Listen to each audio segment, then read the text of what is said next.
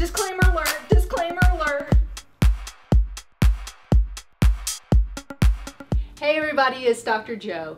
We are talking about shin splints and what to do with helping out your shin splints. Hopefully you've already checked out the stretches and it made it feel a little bit better. Now that it's feeling better, we want to strengthen everything so then you won't have these shin splints anymore. So let's get started with some of the strengthening exercises.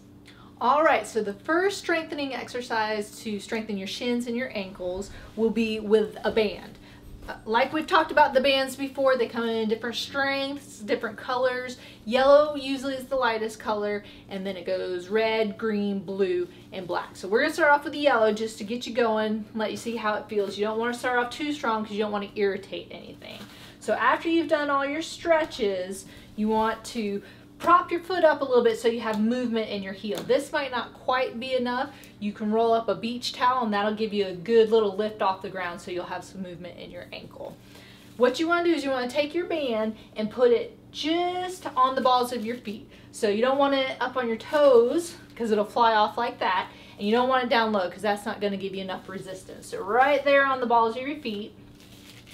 You're going to keep your legs straight and you're just going to push down as far as you comfortably can and that's stretching out that anterior tibialis and that's strengthening it as well. You want to come back nice and slow so there's some control in there and bring it back as far as you can. So you're just going to push down and come back. Now, as you can see, if you can see my foot, you don't want your foot shaking around as you go down because you want to try and keep it as still as possible because that's focusing on those muscles to help strengthen them. If you feel like your ankle is wiggling around like that, you probably have too much resistance, so go down on resistance. And even if the lightest band is too much resistance, then just don't use a band and just push down and pull up as far as you can. And once you can do 20 to 25 with one band and it feels easy and you don't feel any burning anywhere, then you want to bump up to the next resistive band. All right, so the next strengthening exercises are going to be standing. So let's stand up and we'll show you those.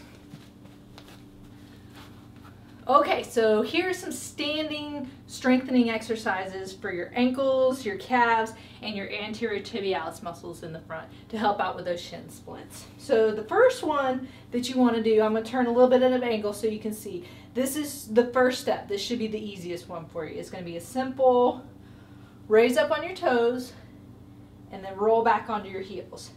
If you need something to hold on to, make sure you hold on. You don't want to be falling. You don't want it to be too much pain. So if you need something to hold on to stabilize with, that's fine. Just going to go up on your toes, back on your heels. You don't want to be feet completely together. You want to have a nice separated stance.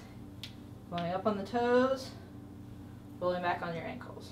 So after you've tried going up on your toes and back on your heels and that becomes easy, then you can add movement in it, and that's what we call dynamic movement, and that's going to help increase your balance as well. So you're just going to go up on your toes, and then walk on your toes, and then when you turn around, you're going to come back on your heels.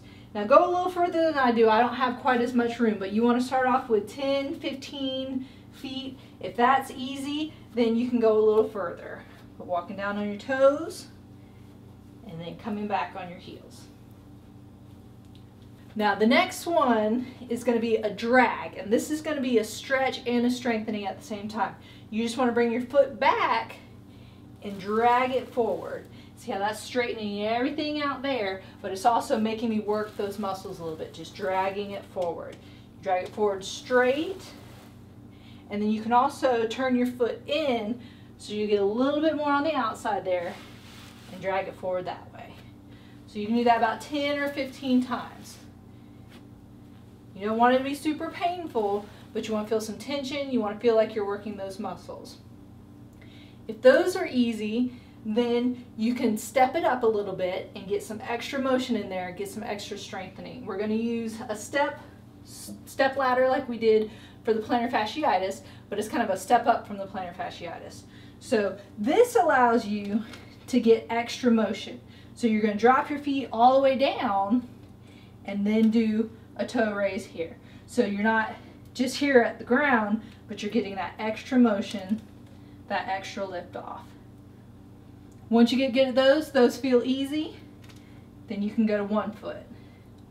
All the way down, all the way up. Same thing, you want to be able to do about 15 or 20 of those without getting super tired.